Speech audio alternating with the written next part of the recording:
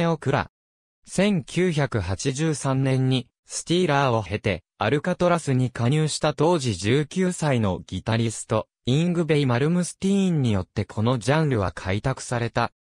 その音楽性はクラシックと同じコード進行を用い、そこにギターやキーボードで即弾きなどの高度な技術を数多く導入するものであり、すでにリッチー・ブラックモア、ランディローズやウリジョン・ロートが模索していた方向性をより徹底的に追求したものであると言える。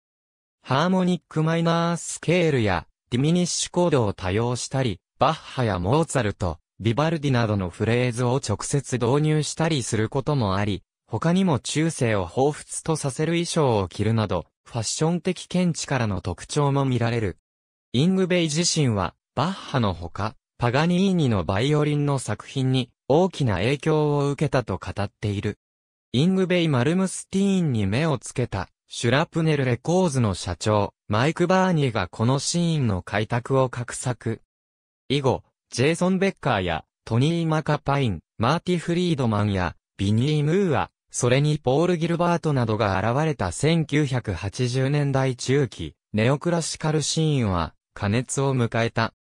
イングベイ・マルムスティーン1980年代後半、次から次へと、高度な技術を備えたプレイヤーが出現、やがて、シーンは飽和状態へ向かう。その後、1990年代に入ると、ニルバーナやコーンに代表される、グランジオルタナティブミュージックの流行もあり、ヘビメタルシーン全体が衰退へ向かっていった。1980年代中期に活躍したギタリストたちの中には、ネオクラシカルから脱却し、フュージョン、またはファンクスタイルへ移行していったものも少なくなかったが、評価は芳しいものではなかった。その一方、イングベイが日本武道館での公演で成功を収めたことや、かつてイングベイのコピーと言われたクリス・インペリテリ率いる、インペリテリが主戦場を日本に移して、オーソドックスなネオクラシカルメタルを展開するなど、日本での人気は1990年代以降も、ある程度維持されていた。ロックとクラシックの融合というのは普遍的なテーマであり、かつてはディープパープルがオーケストラと共演したこともあった。近年ではメタリカやスコーピオンズといった地位を確立したバンドたちがオーケストラとの共演を果たしている。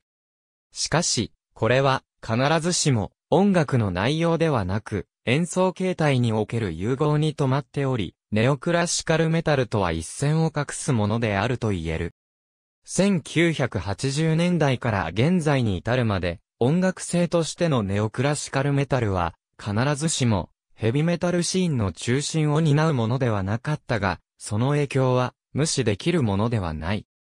ストラトバリウスやソナタアークティカなどに代表される、パワーメタルバンドのほとんどは、ネオクラシカルの要素を取り入れ、セリオンやナイトウィッシュなどのシンフォニックメタル勢、あるいはブラックメタルのバンドたちにも、その影響は及んでいる。